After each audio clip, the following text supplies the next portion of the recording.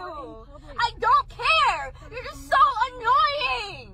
An Uber driver had to stop a young lady who was disrespecting her mother. I don't want to be here. There's so many things that I could be doing right now that are going to be way cooler than this. I freaking can't stand you. Oh my God. I'm begging you. No, you beg all you want. I don't want to be here.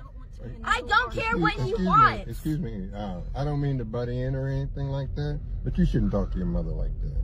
That's I- just wrong. You shouldn't be You butting in. have. You should be minding your business. I'm sorry, but I, I'm. You're in my car, and I'm having to listen to you talk to your mother that way, and that's not right. That's not right at all. What's not right is you not doing your job. Just do your job and mind your business. I can't help that.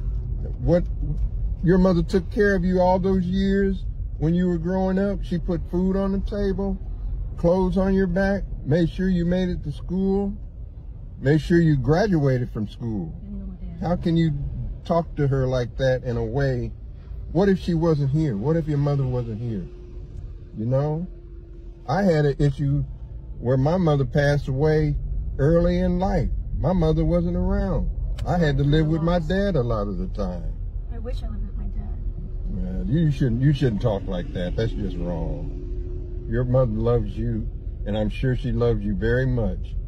To go out of her way to take care of you, because moms don't have to. They're responsible for you. And you go out here and you see on the street that moms, that some moms are just, they don't even take care of their kids. They let them do any and everything to them.